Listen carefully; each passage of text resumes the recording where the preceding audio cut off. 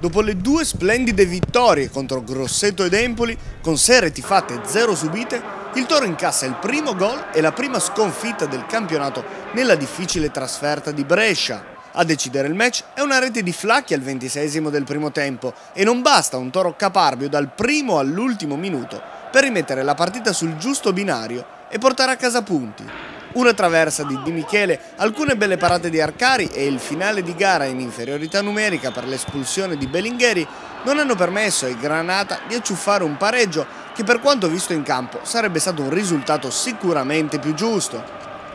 L'avvio di partita è tutto a tinte granata. Dopo appena 6 minuti l'occasione più nitida, cross di Gasbarroni, Barusso prolunga sul secondo palo dove c'è Di Michele che di sinistro colpisce in pieno la traversa. Al ventesimo decisione dubbio dell'arbitro Rocchi. Arcari anticipa di Michele in uscita ma tocca il pallone con le mani fuori area. Il direttore di gara fischia il fallo ma non tira fuori alcun cartellino.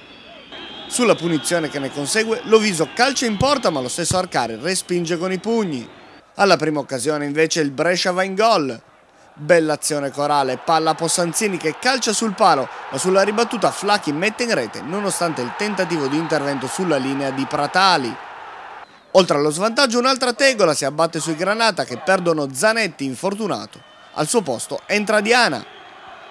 Proprio Diana è protagonista al diciassettesimo della ripresa quando servito splendidamente da Di Michele calcia bene ma trova Arcari pronto a respingere. Cinque minuti dopo il Toro rimane in 10 per questo fallo di Bellingheri su Dallamano. Rocchi non ci pensa su due volte ed estrae il rosso. Nonostante l'inferiorità numerica è solo Toro anche negli ultimi minuti. Bianchi mette fuori da posizione defilata prima, poi a botta sicura trova ancora l'opposizione di uno strepitoso Arcari, che chiude la porta e le speranze Granata di pareggiare.